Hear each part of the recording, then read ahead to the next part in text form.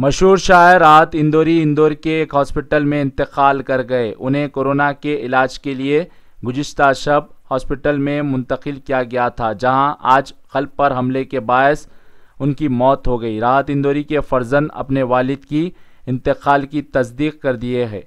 वो सत्तर साल के थे। पसमानदगान में अलिया के अलावा चार बच्चे शामिल है। राहत इंदौरी के सानिय इंतकाल पर उर्दू और हिंदी हलकों में गम की लहर दौड़ गई है। सदर मजलिस व रुकन पार्लियामेंट हैदराबाद बैरिस्टर सऊदीन अवैसी ने भी राहत इंदौरी के इंतकाल पर गहरे दुख का इजहार किया। वाजह है कि हैदराबाद में C N R C M P R के खिलाफ बैरिस्टर असदुद्दीन अवैसी की मुशायरे में राहत इंदौरी ने शिरकत की थी और C N R C M P R के खिलाफ अपना एहतजाज भी दर्ज करवाया था। ब्यूरो रिपोर्ट, भारत की तरक्की। यहाँ जमहूरियत नाम की कोई चीज़ नहीं है जश्न जमहूरियत मनाने आया हूँ। वाह। और आपने देखा एक सहारा देकर मुझे बच्चा यहाँ तक लेकर आया। बीमार हूँ ये पैरों में मेरी तकलीफ़ आ गई है।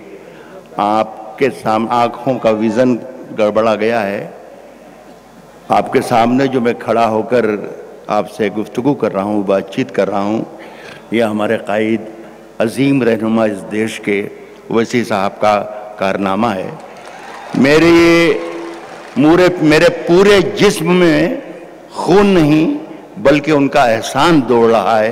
मेरे एक जुमले पर उन्होंने यहाँ बुलाया मुझे हैदराबाद और मेरी आँखों का इलाज कराया मैं जिस वजह से आपके सामने खड़ा हूँ। बहुत शुक्रिया उनका अल्लाह जजा खैर। सुबह फजर की अजान हो गई फजर की अजान हुई तो मैंने अल्लाह से लो लगाई कि अल्लाह तू ही मुझे कुछ इशारा फरमा कि मैं हाँ। भी मैं ज़ोर से बोलूँगा जब तो आवाज़ आएगी अभी कहाँ धीरे बोल रहा हूँ मैं ना। तो, तो अब जरा सा सुन लें आप मैं आपके काम की बात ज़ाया नहीं होने दूँगा आप इम्तमान रखें। मैंने कहा अल्लाह तू ही कोई रोशनी दे मुझे कोई इशारा कर कि मैं जिहादी हूँ कि नहीं?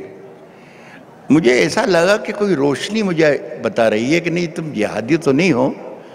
लेकिन यार कुछ तुम हो अलग। तो मुझे ये भी अच्छा लगा कि अगर अलग हूँ तो भी अल्हम्दुलिल्लाह। मैंने साहब दो लाइनें लिखी। तीन लाख लोगों की तरफ़ से पढ़ रहा हूँ ये शेर। संपत भाई की मौजूदगी में। अगर यहाँ ये मंजर ने कहा कि मेरे सामने लाखों लोग हैं तो इन लाखों लोगों की तरफ़ से राहत इंदौरी भी शरीक होकर आप सबके लिए ये शेर पढ़ रहा हूँ। हर शख्स के दिल में यही है जो मैं कह रहा हूँ। इरशाद। कहता हूँ कि मैं जब मर जाऊँ तो वहीं आ जाऊँगा हथेली पे जान थोड़ी है।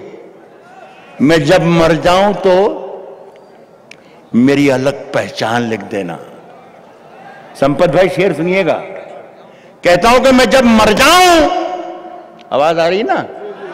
हाँ तो मैंने बोला था कि जब मैंने बोला था जब आपके काम की बात शुरू होगी तो दिल तक पहुँच रही है आवाज़। मैं जब मर जाऊँ तो मेरी अलग पहचान लिख देना। मैं जब मर जाऊँ तो मेरी अलग पहचान लिख देना। लहू से मेरी पेशानी पे हिंदुस्तान लिख देना। वाह वाह मैं जब मर जाऊँ तो मेरी अलग पहचान लिख देना। वाह। लहू से मेरी पेशानी पे हिंदुस्तान लिख देना। मैं जानता हूँ कि दुश्मन भी कम नहीं। लेकिन हमारी तरह हथेली पे जान थोड़ी है। हमारी तो इसमें कौन सी बात कह दी? भाई, वो बेचारा कह रहा था कि वो ऐसा कहता है। ये आदि है। हमारी तरह हथेली पे जान थोड़ी है। दो शेर और पढ़ना है कि जो आज साहिब मसनद हैं। कल नहीं होंगे। यहाँ यहाँ कहा जाता है इंशाल्लाह। जो आज साहिब मसनद हैं कल नहीं होंगे कर रहे हैं। जब मैंने ये कहा कि जो आज साहिब मसनद है तो मैंने कहा यार ये साहिब मसनद हिंदी वाले शायद ना समझ पाए।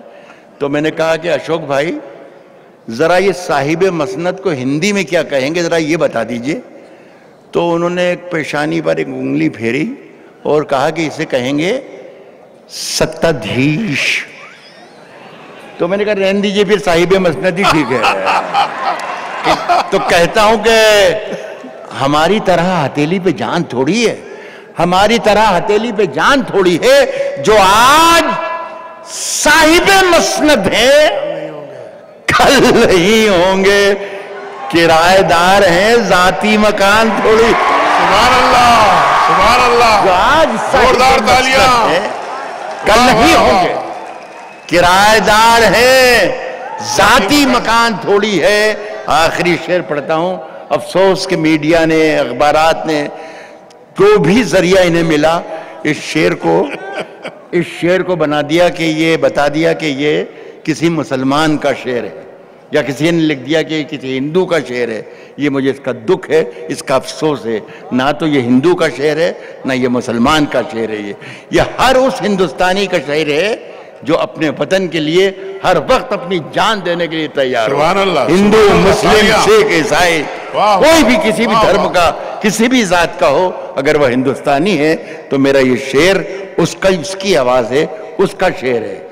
किराएदार हैं, जाती मकान थोड़ी है। किराएदार हैं, जाती, ये देखो, ये वाली आवाज़ नहीं आ रही होगी आपको।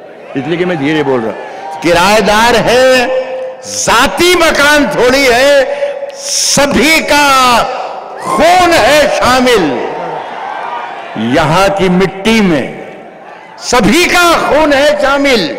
यहाँ की मिट्टी में किसी के बाप का हिंदुस्तान थोड़ी। बगैर कुछ कहे इसलिए कि जो वक्त इन्होंने मुझे दिया है फरशोरी साहब ने मेरे बहुत पुराने दोस्त हैं इतनी देर में तो मैं लुबान ही जलाता हूँ बस। इरशाद इरशाद राज भाई इर्शाद। अपनी पहचान मिटाने को कहा जाता है। जो काम की बात होगी वही कर दूँगा बस। अर्ज़ कर रहा हूँ कि अपनी पहचान मिटाने को कहा जाता है। बस्तियाँ छोड़ के जाने को कहा जाता है। अपनी पहचान मिटाने को कहा जाता है। बस्तियाँ छोड़ के जाने को कहा जाता है। पत्तियाँ रोज गिरा जाती है जहरीली हवा। और हमें पेड़ लगाने को कहा जाता है। अरे वाह वाह वाह। पत्तियाँ भाई, भाई, क्या। वाह और हमें पेड़ लवे लवे दियों की राहत इंदौरी को शायद ऐसे ही पढ़ना चाहिए। लवे दियों की हवा में उछालते रहना। लवे लवे दियों की हवा में उछालते रहना। गुलों के रंग पे तेजाब डालते रहना। लवे दियों की हवा में उछालते रहना। गुलों के रंग पे तेजाब डालते रहना। मैं नूर बन के जमाने में फैल जाऊँगा। तुम आफताब में कीड़े निकालते रहना। अरे वाह वाह वाह। मैं नूर बन के। जमाने में हाँ सुभान अल्लाह सुभान अल्लाह मैं नूर बन के जमाने में फैल जाऊँगा तुम। आफताब में कीड़े निकाल के रहना निकालते। रहना घरों के धसते हुए गौर से सुने घरों के धसते हुए मंजरों में रखे हैं घरों के धसते हुए मंजरों में रखे हैं। बहुत से लोग यहाँ मकबरों में रखे हैं। घरों के धसते हुए मंजरों में रखे हैं। सुभान अल्लाह बहुत से लोग यहाँ मकबरों में रखे हैं। हमारे एक एक शख्स शरीक हो जाए। हमारे सर की फटी टोपियों पे तर्ज न कर। मैं बता रहा हूँ डॉक्यूमेंट्स ये जितने लोग हैं, सब गिरा में बाँध ले। अगर आपसे कोई पूछता है कि डॉक्यूमेंट्स या कागजात तो बताना कि हम बता रहे हैं, राहत ने बता दिया है पता। घरों के धंसते हुए मंजरों में रखे हैं। बहुत से लोग यहाँ मकबरों में रखे हैं। हमारे सर की फटी टोपियों पे तंज न कर। यह डॉक्यूमेंट हमारे ताज अजायब घरों में रखे हैं। सुबह अल्लाह सुबह हमारे सर की फटी सुबह अल्लाह भाई राहत भाई सुबह अल्लाह सुबह अल्लाह हमारे सर की फटी टोपियों पे तंज न कर। हमारे ताज अजायब। घरों हमारे ताज अजायब घरों में रखे हैं